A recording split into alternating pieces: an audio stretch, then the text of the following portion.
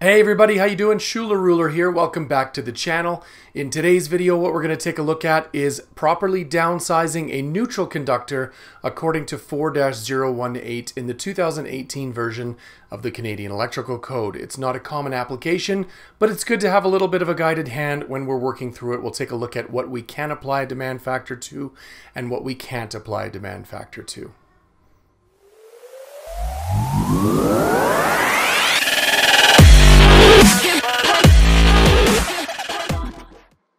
So as mentioned in the introduction, we're going to be looking at 4-018 in the 2018 version of the Canadian Electrical Code to properly downsize our neutral. If you look at the circuit that we have drawn to the left here, it's an Edison three-wire circuit.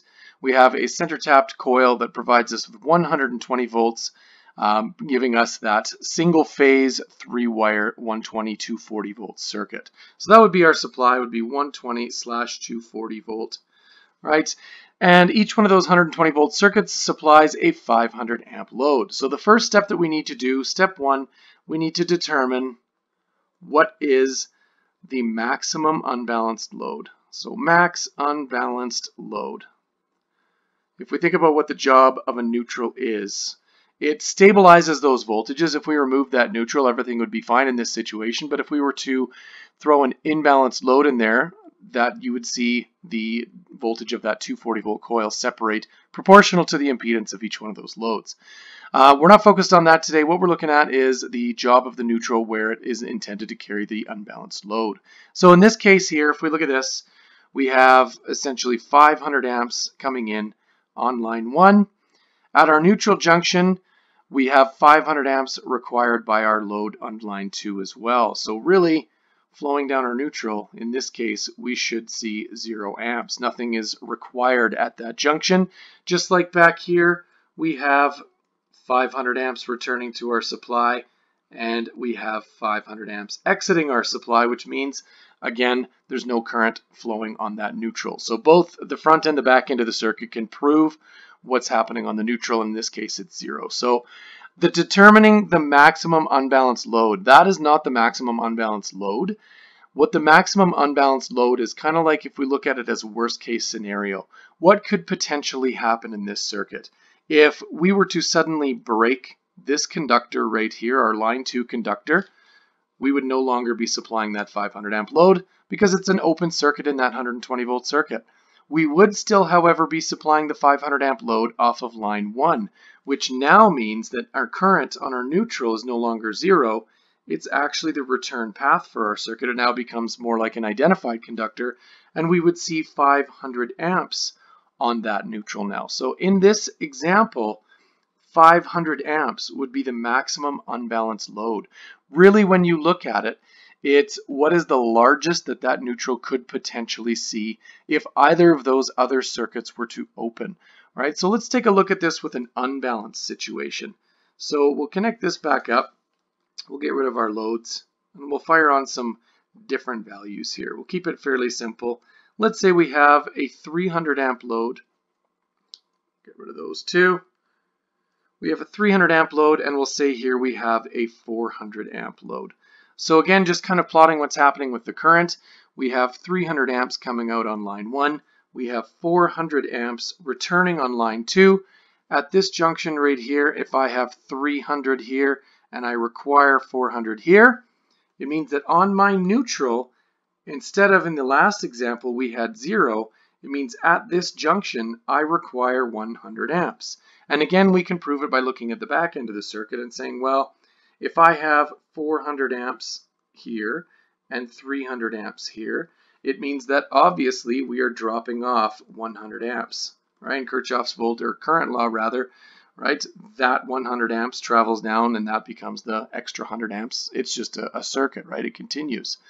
So Again, this 100 amps that's on the neutral currently, that is not the maximum unbalanced load. What that is is just the neutral current in this example. The maximum unbalanced load would be, again, what happens if either of those lines open up. If you look, we have 300 amps and 400 amps. If I were to open up the line 1 circuit, the maximum current that neutral could potentially see is 400 amps. So 400 amps now becomes our maximum unbalanced load. The reason we need to find the maximum unbalanced load is to move on to step two, right? So we'll just go back to our original 500 amps to work with that. So that was just to highlight what happens if we do have an unbalanced, right? So it's still, again, just based off of the highest of those 220 volt loads. That's the maximum that neutral could potentially see. So we'll reconnect all of our circuit here and we'll put our 500 load back in on both of these. So step two, step one was determine the maximum unbalanced load.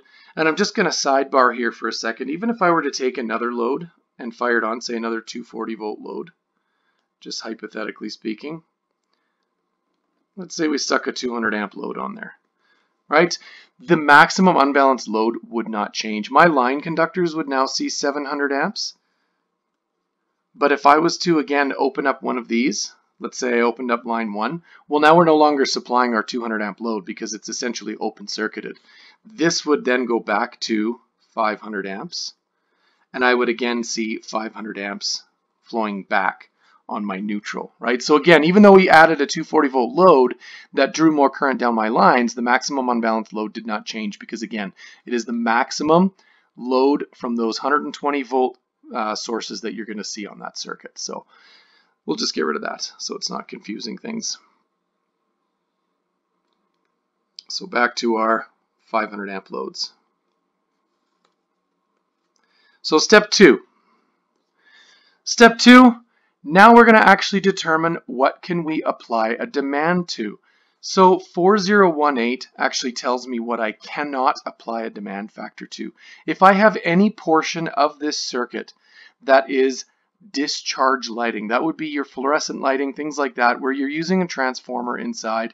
Um, nothing can be demanded on discharge lighting. So if there was any portion of this, I would simply subtract it from the 500. So I'm going to start with, we need to, do, we're going to start with our 500 amps. Then we're going to subtract out anything that we can't apply a demand to. We're not going to just completely ignore it. It's just anything we can't apply a demand factor to, we want to keep it 100%. So we're going to take it out before we apply the demand factor. The other thing that I want to look around for is any type of non-linear loading. That could be computers, servers, VFDs, anything like that that is going to introduce harmonics into the circuit. We need to keep that portion also at 100%. And that's specifically if I have a three-phase four-wire system. For example, a 12208 or something like that. I cannot apply a demand factor to any portion that is nonlinear loading from a three-phase four-wire system.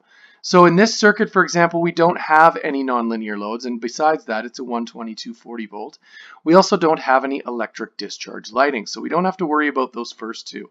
But it then tells me that I'm also not allowed to, or really it says, I can apply a demand factor to anything in excess of 200 amps, bearing in mind those first two items that we talked about, right? So in that example, what we're going to do, we're going to go 500 amps, we're going to subtract out the 200 amps that it tells me I can't touch.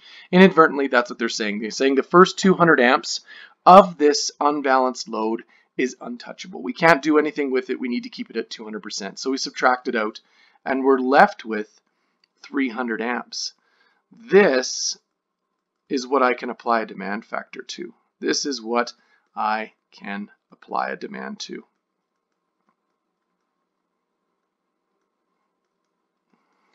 So we're going to do that. We're going to apply the demand, and the demand factor for reduced neutral for any portion that I'm allowed to is 70%. So we're going to multiply that by 0.7. And I'm left with 210 amps for the portion that I am allowed to apply demand factor. Now remember, we subtracted out the 200 because we didn't want to touch it. We wanted to keep it at 100%, which means we need to add it back into our equation. So we're going to take the 200 that we subtracted out, and we're going to add it right back into there which gives me a total of 410 amps. We started with 500 amps, and we are allowed to reduce the 300 amp portion of that, which leaves us with 410 amps overall, which if I was to go and size my conductors in this example, I could use table 2, and because we're over 100 amps, 4-006 subrule 2 says if we don't know the termination temperature, we can assume 75 degrees if we're over 100 amps. Table 2, 75, we're going to say these are my ungrounded conductors or my hot conductors. Right, we're going to go table 2, 75 degrees. We end up with a 900 kc mil. That's for our hots. Our grounded conductor or our neutral conductor in this example, we're going to do the same thing. Table 2, again, we can assume that 75 degrees because it's over that 100 amp mark from 4006 subrule 2. And I end up with a 600 kc mil. So again, you can see there's a reduction in size on that neutral conductor because of the allowance for any portion above 200 amps. If we were doing a question that incorporated discharge lighting, we would do the exact same thing. So the next example, we're going to work on the exact same thing. So in this next example, if you notice at the bottom of the circuit, I've added in 100 amps of discharge lighting. We're going to use the same numbers here, but we're going to work with that 100 amps of discharge lighting and see how it changes the question and see if it changes the size of that neutral conductor after that demand factor has been applied. So we're going to start out with the same thing that we did last time. We're going to start out with our maximum unbalanced load of 500 amps because that hasn't changed. Again, we know that we can't touch the first 200, so we're going to subtract that out right away.